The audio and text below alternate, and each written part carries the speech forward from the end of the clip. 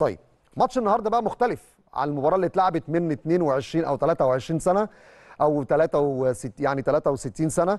النهارده بنلعب في كأس العالم للأندية ومباراة مع أجيال مختلفة بالتأكيد للفريق البرازيلي. لذلك بنضم لي دلوقتي على الهاتف المعلق الرياضي الكابتن أحمد عبده. كابتن أحمد مساء الفل.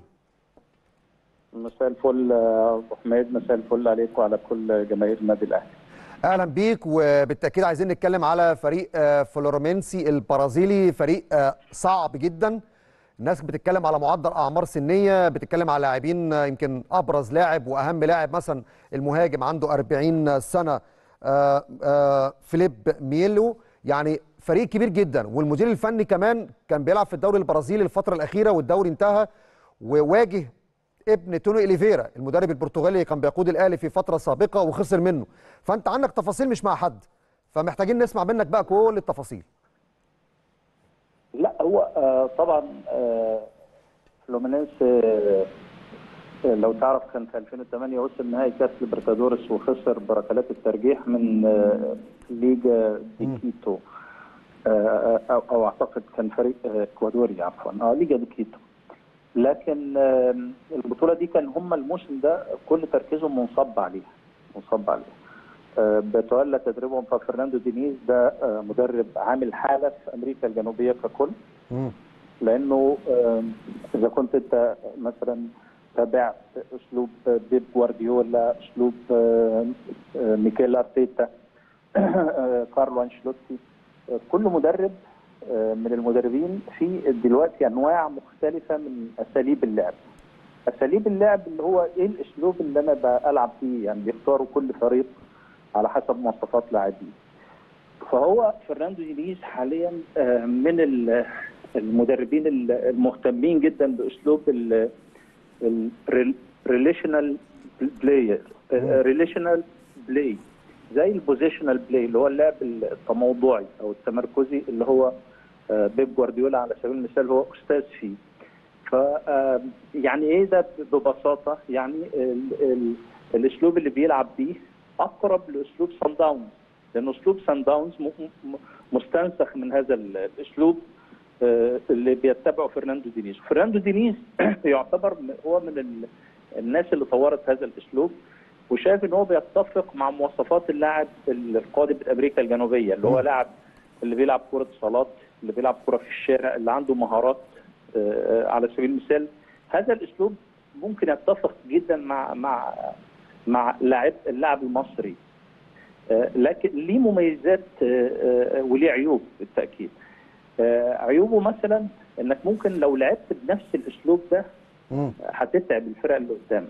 ولذلك فرناندو دينيز اللي هو مدرب فلومينينسي أكتر مدرب فاز عليه هو مدرب بيلعب بنفس هذا الأسلوب اللي هو ريناتو جاوتشو مدرب جريميو برضو اللي كان شارك في كأس العالم 2017 أعتقد وكان فاز بالليبرتادورس برضو مع جريميو ريناتو جاوتشو وريناتو بورتالوبي. ففريق فلومينينسي من الفرق الجيدة جيدة. لكن أنا ما بقولش إنه مثلا إنه فريق الأهلي أقل منه. بالعكس البرازيليين في تحليلهم للقاء الأهلي والاتحاد أشادوا جدا به وقالوا إنه المسألة 50 50 يعني ما فيش أفضلية لفلومينينسي عليه. قصة السن آه. يعني في كلام كتير على مثلا, مثلا فابيو حارس المرمى 43 سنة فيليب ميلو 40 كينو 34 مارسيلو 35 جيرمان كانو 35 يعني بنتكلم على خمس ست لعيبة متوسط الأعمار كبيرة. آه لكن مؤديين رائعين لأسلوب اللعب ده. و مش أقل من أي لاعب أصغر منهم. وإذا كان هم في الفريق في عناصر كبيرة في السن ففي عناصر صغيرة. يعني أنت عندك جون أرياس صغير في السن. تمام. جون كينيدي صغير في السن. مم. عندك ليما صغير في السن. لا في عناصر. عندك ال back right سيم مارسيلو. مارسيلو على سبيل المثال خبراته كبيرة جدا. ده خمسة كأس عالم الانديه خمسة دوري أبطال أوروبا. فاحنا القصة كلها دلوقتي هتكون مش في, السن. القصة كلها في إزاي انت كفريق هتقدر تواجه اسلوب اللعب ده لانهم اولا بيلعبوا على الاستحواذ. يعني الاستحواذ بيلعبوا على الاستحواذ وبيبدأوا الهجمة من الحارس. بيبدأ الحارس فابيو أبو 43 سنة ده بيلعب رجليه كويس جدا. آه. بيبدأ يحط كرات من تحت أو ويبداوا الهجمة بالفعل من تحت بيجمعوا خمس ست آه، سبع لعيبة. ناحية الكورة دايما وبيسيبوا الناحية الثانية فاضية تماما. آه، لكن المشكلة زحمة في الملعب. أنت لو قطعت الكورة منهم آه. آه أي جهة الهجمة يعني دايما الكثافة العددية ليهم بتكون ناحية الكورة. إحنا مش هنتكلم آه، بتكتيك جامد عشان برضو الناس تبقى مستوعبة معانا. أكيد. دايما الجهة اللي فيها الكورة هتلاقي فيها زحمة زحمة جدا. ولذلك لما آه، فرناندو دينيز كان مدرب سان باولو مثلا ولعب نص نهائي كاس البرازيل مع آه، ريناتو بورتالوبي جريميو كانت ال ال ال ال- شكل اللعب كله واخد جنب واحد. الفرقتين في جنب واحد من الملعب. كان شكل اللعب غريب. فممكن الناس تستغرب إزاي خمسة ستة سبعة لعيبة ثمان لعيبة من فلومينينسي كلها ناحية الكورة لكن بيطلعوا بالكورة بطريقة مميزة بطريقة سلسة وسهلة جدا. طيب هم أنت عندهم مشكلة في خط الدفاع؟ لا ما عندهمش. عندهم آه مش بي- بيدخل فيهم أجوال كتير يعني. مثلا استقبلوا جوال كتير جدا. هم مثلا لو هم في السابع هم تقريبا وفريق تاني أكتر فريق في السبع مراكز دي آه، دخل فيهم أجوان في دوري البرازيل. لكن هو كان كل تركيزه على الليبرتادوريس مش على الدوري. لأنه البطل الليبرتادوريس بيلعب برضه في الليبرتادوريس السنة اللي جاية. مظبوط. فبالتالي هو كان تركيز الفريق منصب على بطولة الليبرتادوريس لأنه كان عارف إنه المنافسة على الدوري آه، صعبة جدا. هناك ما فيش حد بينافس على كل البطولات. يعني هو بيقول أنا هاخد الدوري okay بركز في بطولة الدوري في ماتشاتي وحاجة. مم. إنما كان كل تركيزهم على بطولة ال- الليبرتادوريس طيب. آه، ال forward forward ممتاز آه، جيرمان كانو. ممتاز forward مهاجم خطير. جيرمان كانو. فإن شاء الله لو تم اختيار أسلوب اللعب المناسب ال- الأهلي يعمل ماتش كويس وإن شاء الله يفوز. طيب سؤال أخير يا كابتن أحمد. هم خلصوا الدوري من حوالي. أسبوع 10 أيام.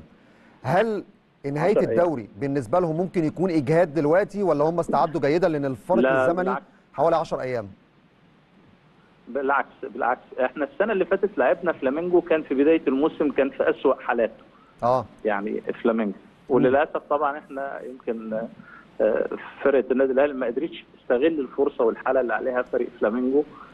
آه، يمكن برضو تضييع الفرص تضييع بنالتي كان ممكن مم. يخلي النتيجة 3-1 يعني تفاصيل بسيطة هي اللي حصلت. يعني التوقيت مختلف ما بين مواجهة فلامينجو أو مواجهة مختلف. آه. كان بداية موسم السنة اللي فاتت وما كانتش فرقة فلامينجو في أفضل حالاتها البدنية. لكن دلوقتي لما رجعوا- في top form آه. مم. لما رجعوا فلامينجو السنة اللي فاتت بدايتهم كانت وحشة فأقالوا المدرب اللي هو فيتور فيريرا اللي هو المدرب البرتغالي وغيروا وجابوا مدرب تاني آه، آه، كان كمل بداله يعني. لكن. آه، فلومينينسي بيستعدوا للبطولة دي بط- بطريقة كويسة لأنهم من 2012 ما كسبوش البطولة دي. من 2013 لغاية دلوقتي الفرق دايما الأوروبية هي اللي بتكسب البطولة دي. فآخر آخر فريق كان كورينثيانز وإحنا كنا لعبناه في 2012 و... و... و... والأهلي خسر منه 1-0 بس. وقبل كده 2-1 من من انترناسيونال وبعد كده. لعبنا بالميراس مباراتين. يعني دي سادس مواجهة. وإن شاء الله يكون إن شاء أول الله. فوز للاهلي على فريق برازيل إن شاء الله يعني. بإذن الله. كابتن احمد وبتمنى كل التوفيق للفرق. يا رب إن شاء الله. كابتن أحمد عبدة المعلق الرياضي الكبير بشكرك شكرا جزيلا على كل هذه المعلومات ودقة مهمة جدا في تفاصيل متعلقة بفلومينينسي أبرز اللاعبين توقيت نهاية الدوري والاستعداد لمواجهة الأهلي. هم في ال top form والأهلي كذلك في ال top form بعد الفوز على اتحاد جده نتمنى النهارده نشوف مباراة كبيرة جدا ويكون التوفيق حليف النادي الأهلي.